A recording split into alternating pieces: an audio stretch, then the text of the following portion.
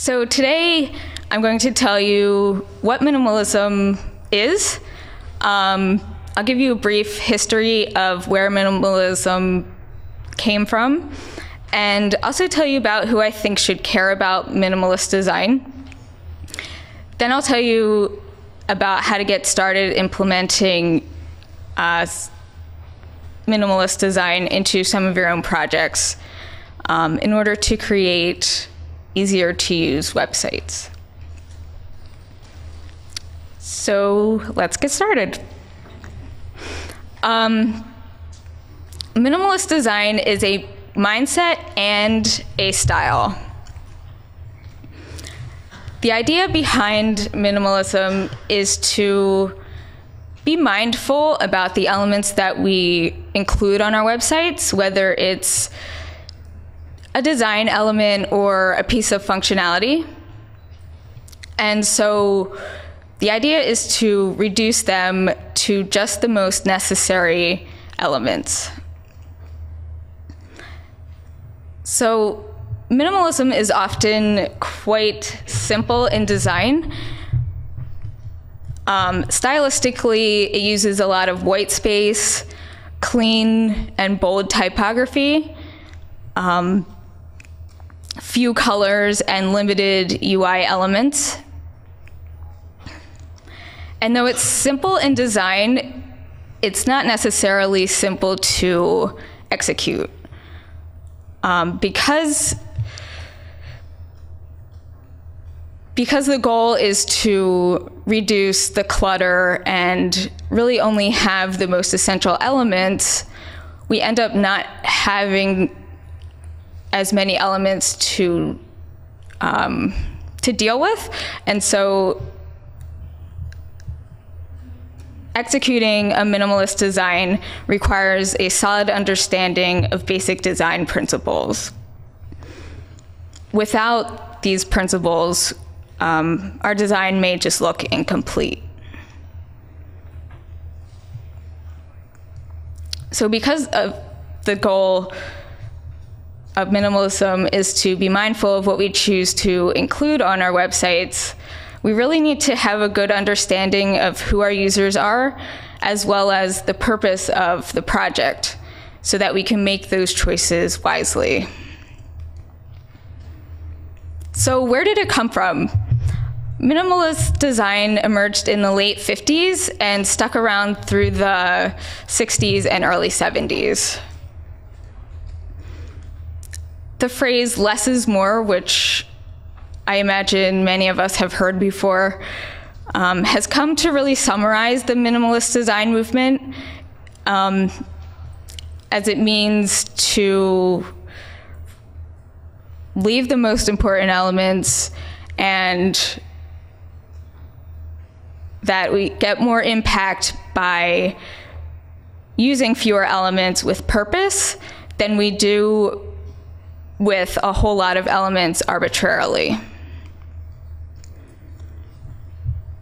So, minimalism was a rejection of abstract expressionism. Um, and abstract expressionism used a really dramatic and expressive style. And so, minimalism was interested in being just getting to the point, um, focusing on content and a, and a simple design. So we, we can see minimalism has influenced a wide range of mediums. Um, for architecture, minimalism meant focusing on simplicity and using modern materials such as glass and steel. Um, we see it in fine art as well. Um, minimalism in fine art was about challenging the expectations of what an image can and should uh, represent. We see it in sculpture too. Um, the point in, with sculpture was to reduce the form down to the most geometric uh, form. We see it in literature too. Um, with literature, it was characterized by really superficial descriptions and the use of few words, as in this poem by William Carlos Williams. We see it in interior design as well, and um, in interior design, the focus is on using lighting and space to create a peaceful environment. So, how this relates to web design, um, it's a rejection of just needlessly complex designs and functionality. So, you might think of like Adobe Flash um, landing pages or introduction screens, um, blinking text and graphics, um, applications that are just packed with really obscure functionality.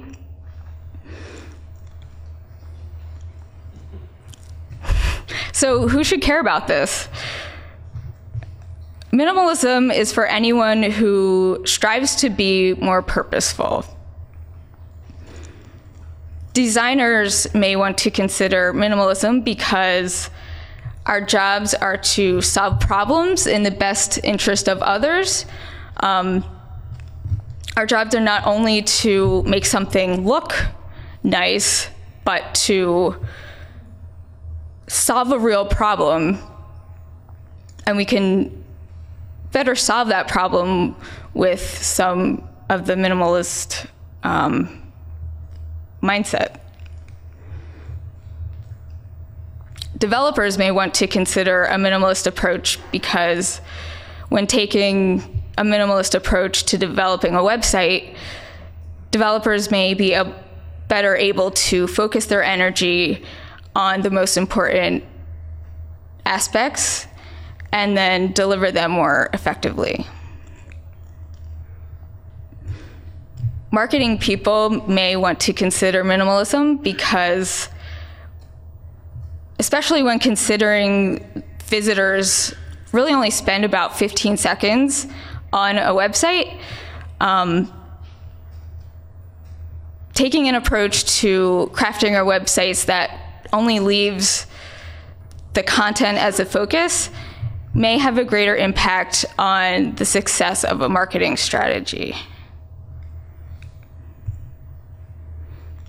Our clients and other website owners may want to consider minimalism because it may help actively drive their brands forward and clearly communicate the main messages uh, to their audience. For our clients' clients and the end user, um, minimalism may have a positive impact on just the experience of using our websites when they can get in there, do what they need to do, and get on with their lives. So it's going to look different to everyone and for every project because not every client or every project has the same purpose or needs the same functionality, it's going to end up looking different. So, where do we start? Um, taking a minimalist approach starts before even the design process begins. Um, if we start with the mindset that every element should have a purpose, um, we really should start by asking ourselves and our clients some really important questions. As designers, we shouldn't ask first what, excuse me, not how should it look, but what should it do and what is the goal. So start a conversation. We should start by asking ourselves and our clients some important questions to better understand what it is we're designing. So we can ask what the main marketing message is. Um, who is the primary user or users? What feeling are you trying to create?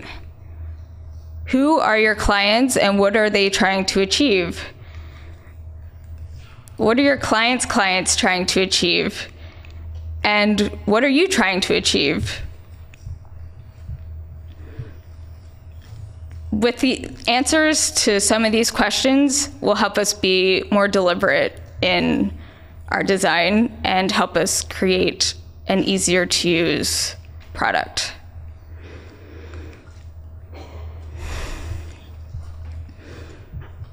So I want to point out that just because we remove an element doesn't necessarily mean that it automatically makes it easier to use. And this reminds me of one time I got just really into decluttering and I got I just got rid of all of my summer clothes and like the point wasn't to have to then go and buy a whole new summer wardrobe. It was to um, only keep those things that I really liked, but for some reason I, I like lost that idea and I just got rid of everything. So, um, and we can end up doing that with our websites too. Um, if we if we're not thinking about um, the purpose of an element or a piece of functionality, um, we might just end up making things worse. So, how do we start implementing minimalist design? Um, because there are, are so few elements in a minimalist design, having a solid understanding of basic design principles is extremely important. Without them, our designs may look empty and incomplete.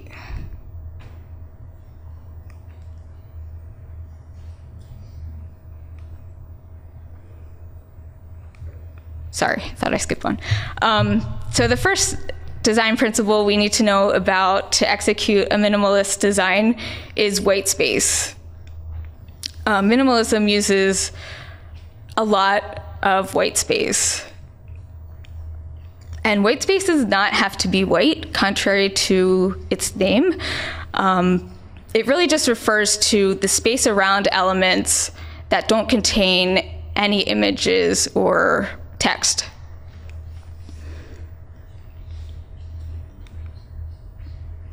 So if we're not used to using white space, it might feel like we're missing out on an opportunity.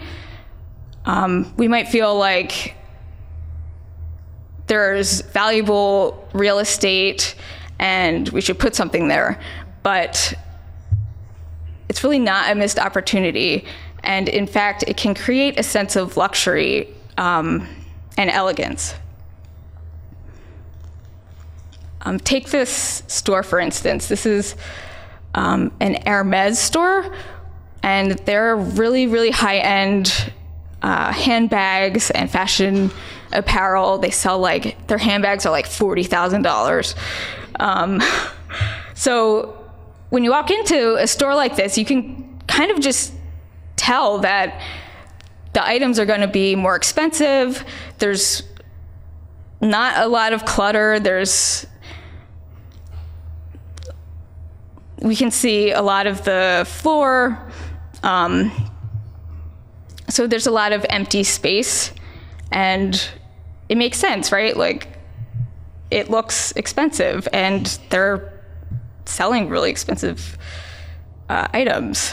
And so imagine if it looked like this, and you go in there and you find out that they're selling $40,000 handbags. Like, it just doesn't doesn't add up. Um, so they use the same principles on their website too. Um, they use a lot of white space to draw the eye to like when I look at this, I look right at the scarf and the belt there on the right and the shoes below that. So it helps to direct our eye to the most important elements, which in this case, I would say is the, the scarf and the belt.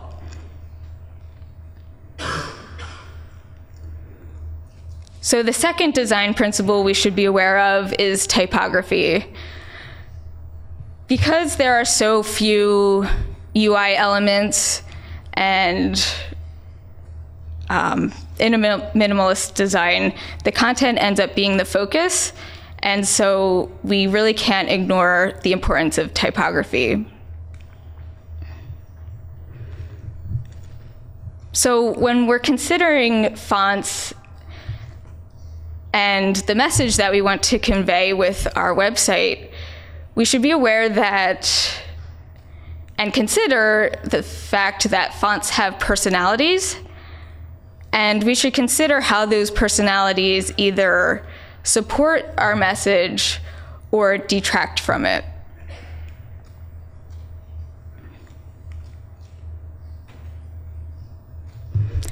in addition to the font's personality, we should also consider that uh, the font's weight, size, letter spacing, and line height also serve to create structure and hierarchy on a page and um, helps us to read it uh, easier.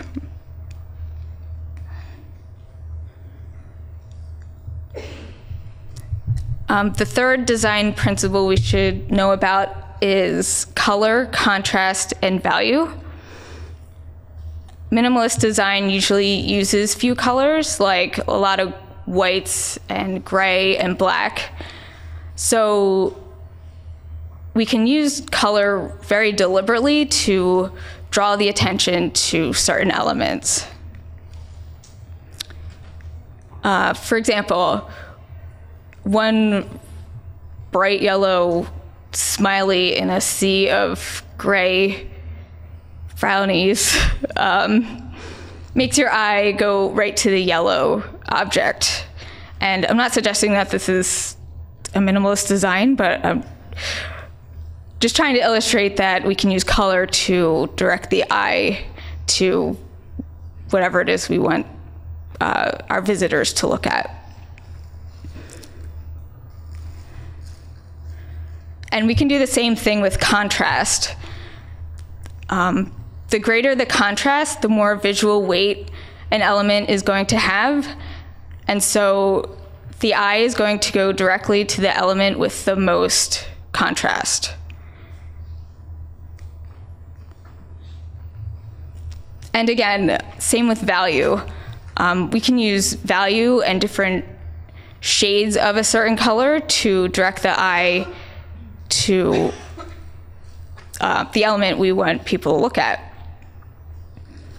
So using these three principles can help us execute a minimalist design more effectively because it gives us another way to direct the eye through our designs. The fourth design principle we should consider um, is the use of images and photos. And although minimalist design is really simple, it doesn't mean that we can't use images. Um, we should just be careful to choose images that um, follow the same style of minimalism. So, images that have a lot of white space, um, maybe they use few colors. Um, but the point is to not choose images that would end up cluttering up our design.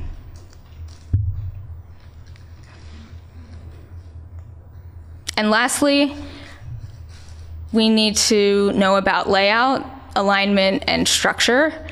These three things are really the backbone to where we place our content and the elements within our design. And if we don't get that right, it might end up looking messy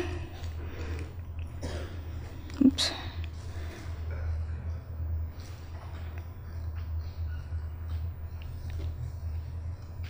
Um, so by considering layout, alignment, and structure, we help to highlight the most important elements within our design and to create that order and balance that we need to make our design um, easier to use.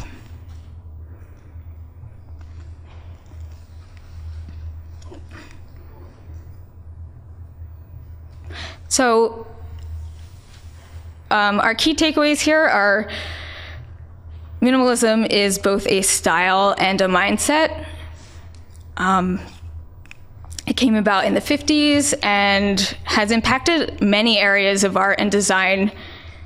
Um, designers, bloggers, and website owners uh, should care about minimalist design because it helps us to be more purposeful.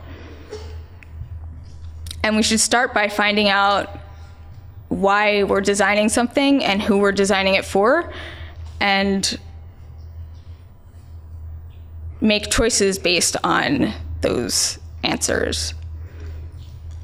And whether or not you like the style of uh, minimalism, I think being mindful is always a good thing and something that we should all strive for. So if you want to read more about minimalism, um, you can check out these articles. I'll tweet out my slides later today. So thank you. My name is Lauren Pittenger. I'm a designer and developer with LB Design and an instructor with the Women's Coding Collective.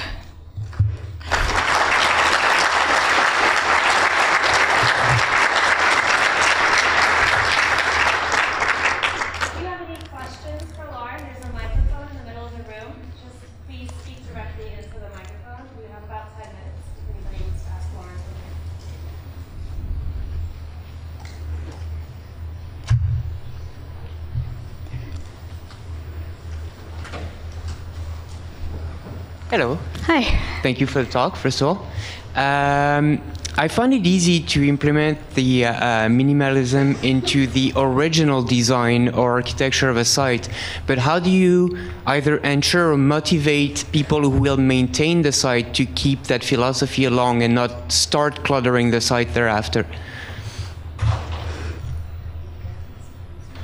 How do you if I under, if I heard your question right, how do you, um, when a project already exists, how do you prevent?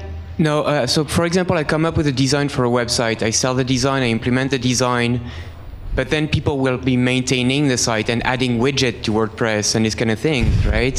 So how? Uh, um, basically, my question is, how do you really make people understand the value of long-term minimalism? as opposed to today this is very decluttered and effective but how do you get them to keep that mentality throughout the lifespan of the site that's without a, the knowledge of being a designer basically. Yeah that's a great question.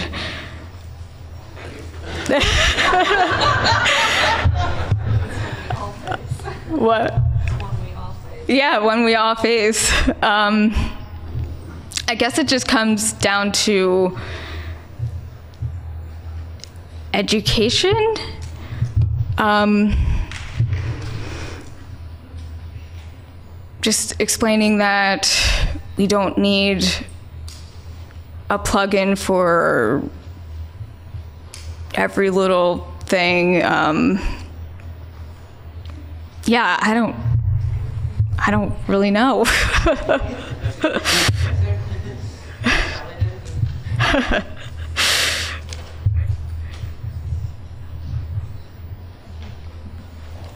Hi, Lauren. Hi. Can, can, can you show us an example of sites where uh, minimalism has helped, like perhaps a before and after, if you have something like that, or um, also possibly where it d- did the opposite? Hmm. Um.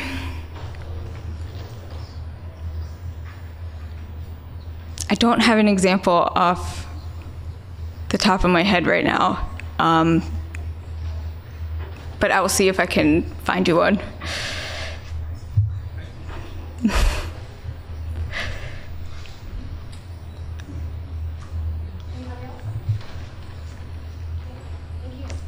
Thank you.